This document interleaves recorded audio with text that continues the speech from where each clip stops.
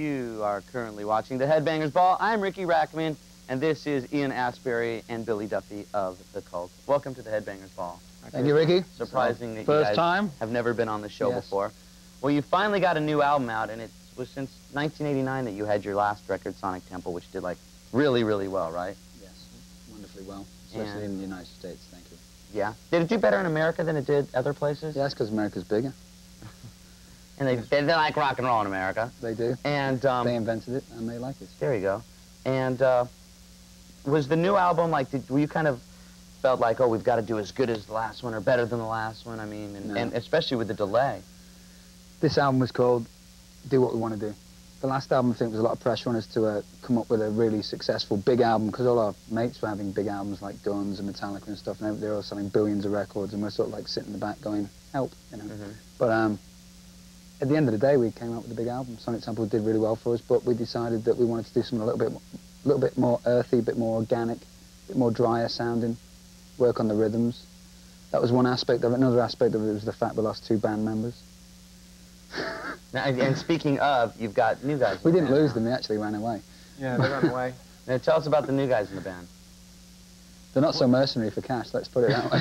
Uh, the new guys. Well, um, uh, one's called Kinley Wolfe, and he's bass player, and the drummer's called Michael Lee. And are these guys.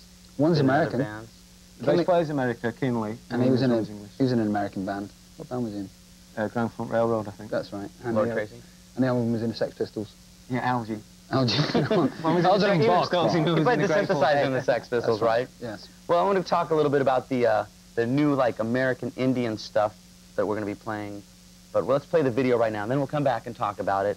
This is the new video from the Cult. Do you want to introduce it? Which one is it? Oh, we've only got The got new one. one. it's that one. This is our video. new It's called Wild Hearted Son on Headbangers Ball with Riki Rachtman into the year 2000 with heavy metal. That was the Cult with Wild Hearted Son, and Ian and Billy from the Cult are here on the Headbangers Ball with us as we speak. And we just saw the video, and the starting of the video, you have uh, an American Indian in it, Yeah. right? American Indian fancy dancer.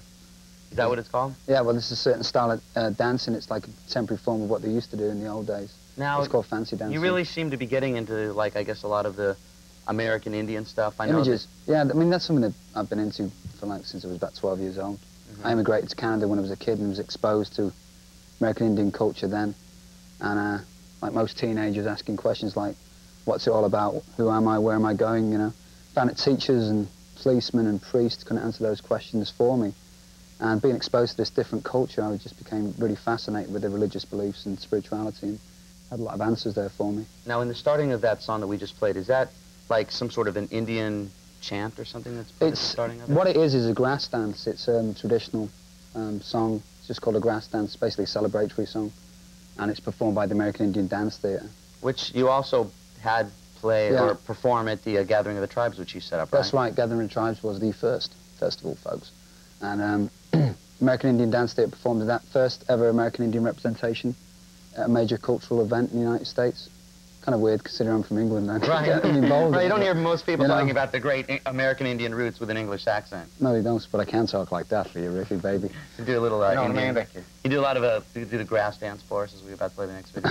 We'll do the hula dance. It's very sacrilegious. Well, here- here's a. Uh, it's- we'll be back talking to these guys in a little bit, but right now it's a debut from Alice Cooper, and Alice actually has a part in the new Freddy movie, so look for him in that. Here is a new uh, video and debut from Alice. It's called "Love's Loaded Gun."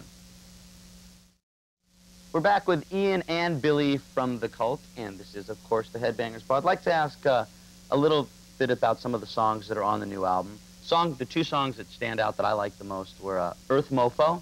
What does that mean, viewers? See, you can figure that out. Is there something you can tell us about that song? Mofo. It's just a heavy metal song. And Bangkok Rain. Bangkok Rain. Um, Bangkok Rain was a song I wrote, strangely enough, for Matt and Billy. Um, they went on a trip to Thailand and uh, told me about their experiences there, and I just kind of wrote the lyric around that. But of course, Billy being a headbanger, he put in the heavy crunch guitar and Because it does two- have the heavy the two crunch guitar in fused that It's song. together. very heavy. That's why I mentioned those two songs, through the Very crunch heavy. guitar. Yes. Very heavy. Now, do both of you have, you know, different musical influences? I mean, is Billy more into the heavier stuff? Because I know that you kind of have a lot of the later 60s influences and the early 70s. and the early 70s. I like a lot of contemporary music as well. Uh-huh. Yes. But do you, would you say that your influences are kind of varied, and that's why you get different styles in the, in the um, Stronger, music? I think stronger from innovative stuff, you know, like when it was all, when it all first was created, the music, you know, stuff from like the Stones, the Doors, the Led Zeppelin, Cream, blah, blah, blah. All that stuff. Blah, blah, blah. The Free, MC5. Okay, we'll be talking more with Ian and Billy as the Headbangers Ball continues. Also, we've got debuts from Adam Seed, Nirvana, and Godflesh. So stick around. Goldfish. We'll be right back.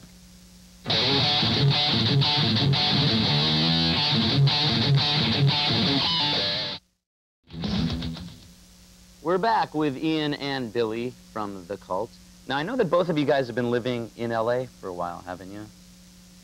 Does that make any Sort of, difference? Between here and London, Really? yeah. Which which do you call home though, London? Wherever the suitcase is. wherever, wherever the suitcase Yeah. is. Now, do you find that living in the LA area where so many bands have like started, that that uh, does anything to influence your music at all? Makes us run out and buy bigger cans of hairspray. Really? Yes. Th- that's what it does. Okay, now you guys have been the two of you in the I wanted band. to say something, really. Oh, I'm sorry, No, Billy. it's Go I right had a thought there, but it, No, No, I go on. It's about time you said something, really. Go on. I, I didn't want to speak today, Same though. You know, I thing, thought it was going to be mysterious. Okay, we'll direct this you know. next question to you. The both of you have been in the band for a long time through different changes from Southern Death Cult to Death Cult to the Cult. And um, why do you think that you guys still attract an alternative crowd and a rock and roll crowd? I mean, which would you say you are, a rock and roll band, a metal band, or an alternative rock and roll band? Silly. Oh, well, I get the most complicated question, don't I, Riki? You know what I mean? Um, we were saving this I one would for say, you. well, this is difficult because I'm on Headbangers Ball, so I'm a little bit on the spot, right? I think with the call, I don't know. It's a bit of a mix. We've always said when we started that we, we consider ourselves a rock band, full stop. And I think it's a very broad term. I don't like to pigeonhole what the cult do into any particular kind of thing, so rock, rock will do me. but if you're on 120 minutes, you would say. We love Morrissey. yeah. We would say. Okay, we'll be back talking to these guys in a little bit. Right now, it's time for tonight's Ballbuster competition.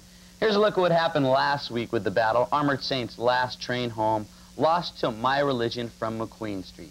Tonight, the Ballbuster champion, McQueen Street, is challenged by the Bullet Boys with Talk to Your Daughter. And if you're a Bullet Boys fan, uh, I'll be at Cat House, Arizona, October 15th with the Bullet Boys. Just thought I'd throw that plug out there. Right now, what you do is you watch both videos and you call up and vote for your favorite. The number to call is 1-900-370-0100. Each call costs only 50 cents. Here is the current ball buster champion, McQueen Street with My Religion. Welcome back to the Headbangers Ball. Ian and Billy from the cult are, they're still here. Do you want to say something, Billy? Um, Say something. I think I just said something. I just don't want to cut you Well, off did- no, again. did I say something? I thought I was like, you know, really going ahead there. You know. Um, I, I just wanted to make sure that I didn't cut you off, that if I there's something you wanted to say. Oh, I want to say hi to Nikki. I There you promised I go. would. There you go. There you go. Okay, um, on this record, I noticed that you co-produced this one, Yes. and you worked with Richie Zito. You've worked with different producers for Every album, basically. Every album is a I'm different speaking producer. again, Riki. Pardon me? I'm speaking again, you know. Okay. Okay. Tell us about it, Billy. Okay, Riki. Um, why? I don't. We tried using the same producer. Um, we did, an album we did called Love. We used a guy called Steve Brown, and we tried to do the electric album with him, and we recorded the whole thing and mixed it, and then realised we didn't like it. So since that, we've been a little bit gun shy. Of it, circumstances have just led us to use different guys, but way back, you know, when you make that kind of major blunder, you know what I mean? Going in with the wrong guy, it was like it was a lesson sort of hard, learned the hard way. So.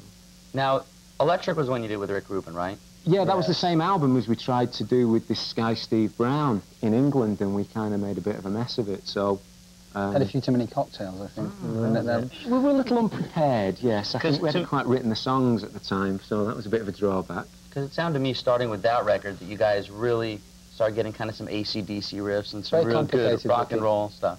It's very complicated. Kind of the whole Heavy story. metal is very The whole complicated. story. It went. It was more. We, we felt at the time, then way back in that dark age, that we were getting a little bit pigeonholed as purely an alternative band. So meeting Rick, he can't. Rick Rubin, had- is, is, as you probably know, is a very direct person. He has a very one-track mind, and he saw the Cult as a certain kind of band, and he brought out a certain element in the band that we were nobody in England seemed to wanted to know about. I mean, 1985 and 86, everybody wanted to be kind of a Thompson twin in England. There was no rock and roll really coming out of Britain. I mean, there's still not a great deal, to be honest. So that's basically what went down. You know, it was just, it's something that's always been there, and Rick just focused in on it for us. Okay, we'll talk about a little bit more about that when we come back. But right now, it's Frantic Fringe time. And included in the Frantic Fringe is the first video from Adam Seed's debut album, Get In Line, plus a debut from Godflesh called Slave State.